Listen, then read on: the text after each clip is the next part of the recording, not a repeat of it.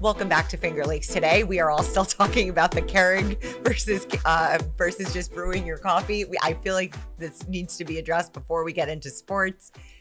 Uh, Nate seems to think that Keur- how do you pronounce it? Is it Keurig? Or I say Keurig? Keurig. I don't know if that's Keurig. right. He, I say Keurig. You don't love it because why? It's just not hot enough. First of all, It's not. I and I don't think the quality of coffee out of a out of a Keurig or Keurig is is very good. Is good enough for me. A little bit of a snob when it comes to my coffee, but um, it's definitely good for convenience. You know, I live by myself too, so Convenience. I why are you gonna make a big pot of coffee just for one person, Yeah. right? if you have just one cup, there's no point. Right, and I so I, I have one cup in the it. I, I drink coffee at night too, so uh, Oh, no. I don't Do want you drink decaf, Jim, or do you drink? Uh, no regular. what time of what time of night do you drink that? Uh, I'll brew one anytime between seven and nine p.m. Wow, and that doesn't keep you up at all, really? I, I know, would I know you're. In, say- I, I know mean, you're I- late. You go to bed late anyway, but Yeah, but I'm not going to bed late because I can't fall asleep. If I went to bed, I'd fall asleep. I just, Okay. for whatever reason, get caught up watching or doing Right. something, and next thing you know, it's. I usually go to bed around twelve thirty a.m. and fall asleep around one. Mm-hmm. by one o'clock, I've been sleeping for two two and a half hours. Yeah, I know it's a problem. It's a Sabres played at ten thirty last night. They there, and I didn't even didn't even try to make it to puck drop. Yeah, no, I'm jealous. I mean, I think that if I could some way f- how find my way to bed at 10 p.m., I'd be asleep by 11. But I just, That's Don't- usually my goal. I don't know. better. That 10. is a good goal. Yeah, But yeah, well, whatever. It's been I've been a night owl my whole life, and then but usually in the summer, um, we get up real early to golf on the Play golf, right. weekends, and so that usually kicks my uh, internal clock of you know two, Right. so I get to bed a little earlier. But I don't know. I, I like being up at night. You know, when nobody else is out, is awake, everything slows down. It's Mhm. peaceful. Yeah. it is peaceful. Yes, I'm an early is. riser though. I've always have been my whole life, so I'm sticking with that. I like both sides. I wish I only needed two ni- two or three hours of sleep. That'd I'd be like to stay up late and get up early. That would be the ideal.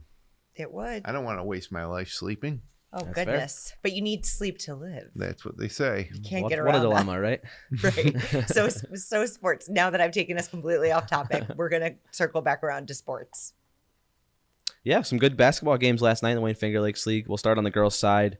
Uh, Mynderse traveled to Gananda to play that second game of the year against uh, the, the Warriors. The Blue Panthers. The Blue Panthers. I don't know why I said Warriors. And um, Mynderse came out with a victory 56 52, pretty close one over there in Gananda. Haley Mosh led the way for had got the 19 win. points. Oh, is that what I, that's not what I said? I'm sorry. 56 52. Yep, Gananda. yeah, which was I was surprised. I thought Mynderse, the girls, were going to get that win um, and try to get a little momentum heading to sectionals where they'll be a top seed in B two.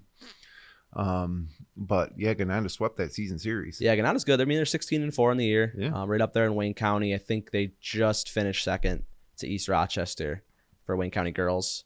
Which we didn't have them in the mix. We- Right. We thought it was between Clyde, Lyons, and ER. Right. And we didn't even it's- really have. We had sort of had Lyons in the mix, but I almost kind of thought it would be, you know, kind of ER's. Yeah, we Real- are to lose. Even Clyde Savannah I was a little bit of a, a distant thought to me. I thought ER would just kind of roll. I agree. didn't happen ER in the end did did win the league. Right. Yeah. So, but uh, could get on to me one of the surprise teams of the season, and again that Mynderse is a Finger Lakes East team against a Wayne County team. Generally, um, the East is stronger, so it was, I was really surprised to see. Gananda sweep that season series. Uh, odd also to play um, out of league team twice the Right. way they did home and home. So I, I'm interested to see what Mynderse does in sections. I think they got a really good chance in B2. absolutely. Dan, just Dansville is, I think, number one, and I think Mynderse is number two behind them. I haven't looked at the standings in. Yeah, I days, but- just like wish like Mynderse had that close game against Palmac that went to overtime after Palmac beat Waterloo. So obviously, you know, Mynderse is yeah, they, got the firepower. capable. Yeah, to beat a top team, um, but they're missing out on some momentum here heading into sectionals without getting that road win last night. But for Gananda, great feather in their cap, beat a Finger Lakes East team twice, and um, so you know, sectional time's almost here. We'll have brackets uh, by the weekend. yeah, looking forward to that. So another non-league uh, girls game last night. Waterloo took down Hornell over in Hornell by a score of sixty to forty. Uh, they they uh, have one more game on the season. They're sixteen and one now as they move to that. So they have some momentum going into sectionals here. Um, let's take a look at the slate tonight. This is a big night. This might be the biggest South night, Seneca. Yep. biggest night of uh of regular season on Wayne Finger Lakes basketball, especially Finger Lakes East. Right. Not as much for the girls, I don't think. No, but for for, the boys, boys. for sure. Yes. So yeah, Marcus Whitman's South Seneca, North Rose Wolcott Lyons as Lyons looks to close out their their Wayne County they'll get that season. Yep. Yep. So yeah, let's talk about the boys. Um, we'll start with last night.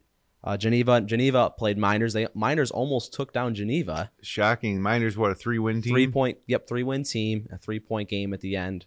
Uh, over at Arthur L. Baker. Anthony Torres led the way for Geneva. He had 24, and uh, Jaden Ryko led the way for the Blue Devils. He had 22. Yeah, Jaden Ryko had a great game. I watched most of that game. I probably picked it up in the second quarter.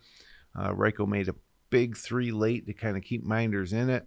Um, you could see that Mynderse just didn't have the size or athleticism of Geneva, uh, but you would expect Geneva. I would have put the line on that game at 15 or 16. So uh, Geneva, you know, we try to make predictions here inside our studio and on the Right. Upstate Hoops podcast. And I really thought Geneva was a team that was going to get better as the year went on, Mhm. but it kind of isn't the case. And for them just to sneak out that victory in in Seneca Falls last night was doesn't really bode well for them going into a tough B1 tournament. But for Mynderse, um, I, I still can't say that the three win Mynderse Blue Devils are going to have a shot in sectionals in B2. But Right. I mean, they played with Geneva. They just couldn't close it out. They had a ball in the air that would have tied it and sent it to overtime off uh, Jake Prine.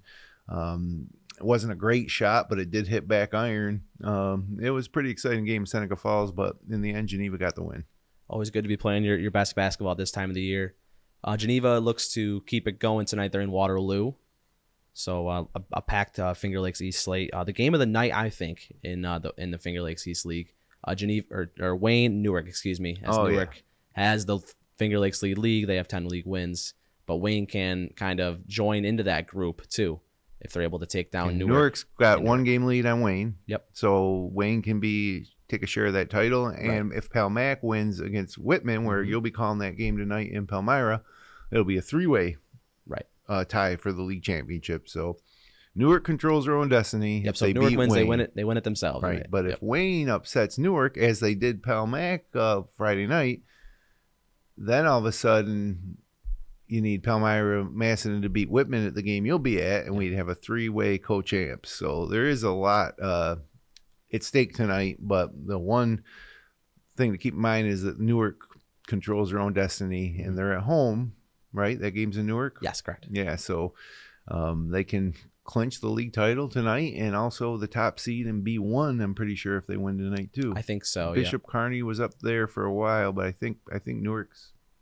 Newark's uh, one seed if they win tonight. I like what Paul said yesterday on Upstate Hoops. The Rose City on Valentine's Day. Oh yeah, All the stars are kind of pointing to each other, right? See Newark uh, try to come out with a Finger Lakes East title. There's nothing though that Coach Bill Thompson would like better than to play spoiler in that situation. Oh yeah, I mean, these Finger Lakes East teams have developed such a rivalry um, over the past several years.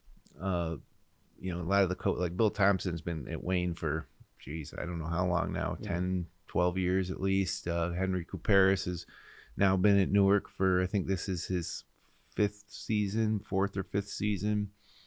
Um, and Trevor Sanders doing a great job at Palmac. So to me, uh, and then you, you added Marcus Whitman into the mix too, uh, into the East as a former. West team, and Coach O'Connor. There's just great coaches in this league, so uh, it just adds to it. But great, Right. I'll be looking forward to watching the games tonight on the Palmac YouTube. We'll have you on the call, and then I'll also have on another screen that Newark Wayne game up, and we'll see who wins the Finger Lakes East tonight. hope you got a third screen for the Syracuse uh, Orange basketball team. Yeah, and then then uh, that'll be on the TV. So I got the monitors, and then the so yeah, there'll be a lot going on while I'm it. drinking my coffee at seven thirty tonight. I love it.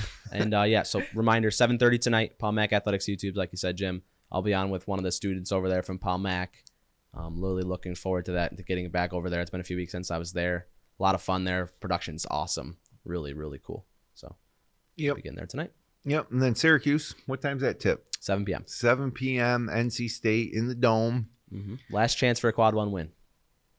Yeah, you're right. Uh, but they got Pitt again though, but that would not not I, be a quad I don't one. think that's quad one. Is that quad one? Paul? Pitt's fallen down to quad two. yeah, And then Duke on Saturday night, but that, they're not in quad one anymore. right. The ACC as a whole is kind of. Uh, Yeah, UNC lost again last night. I know. Um, so yeah, definitely weird. Yeah, it's just not a very well run conference. Jim my has opinion. opinions. I'm not a fan, fan of John Swofford and everything that was played out in conference realignment.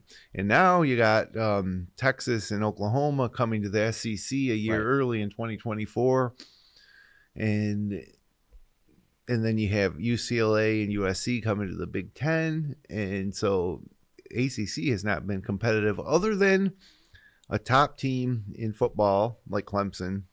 Uh, you know, and then maybe um, a one or two off top team in basketball, but it has Right. not been a dominant conference that it was sold to be when they expanded. When yeah, Duke everybody and North. Carolina have had some pretty some solid success. In Yeah, of course, basketball. that's all that matters in basketball right. is Duke Carolina in that conference, in my opinion. So that and that's one of the reasons why they struggle, I think, is and competitively nationally. I don't think they can on basketball hold a candle to um, the Big Ten in recent years, other than having maybe a, a one or two top teams each year. But I don't know. That's a story for another show. but um, anything else going on in the world of sports? Um, I don't think so. We're just still talking about that, you know, that Super Bowl from Sunday, and just to, an ups, kind of an upsetting ending, in my opinion, with that penalty call. of the Eagles taking the high road though when they're Yes, talking they about that play that call did not influence the outcome. There's so many plays in the game, yada yada yada. Right. Even Bradberry said, you know, I held him. You know, I grabbed his jersey. So yeah, taking the high road, including head coach of the Eagles, who you don't like, Rebecca uh, Well, Nick Sirianni. He also took the high he took road. the too. high road. Yep. Oh yeah. Do He- I need to rethink my thoughts about that guy? I'm not saying either way whether you should or not. That's totally up to you. That's personal preference. Yeah, I guess. I mean, so maybe, yeah, maybe they're not that bad, but.